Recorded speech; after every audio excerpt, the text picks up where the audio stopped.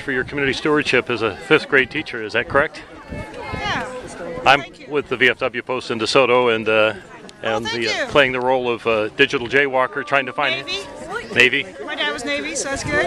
Which uh, brand or which uh, which he coast? Was, um, he was a chief petty officer. He had land duty, and uh, we kind of moved coast to coast every two years. How did you land in uh, Bayshore? Uh, it was his year to retire, and they had two places that he could move to: Hawaii or Gardner. Okay, He chose Gardner because that's where he was raised in Kansas. So excellent. So he's another example of Midwesterners make the best mariners, right? I guess I don't know. Well, you must have passed some of it on to it's you kind of then. hard to get landlocked, but you know we stayed. Excellent. So Thanks so for the story. You for your service.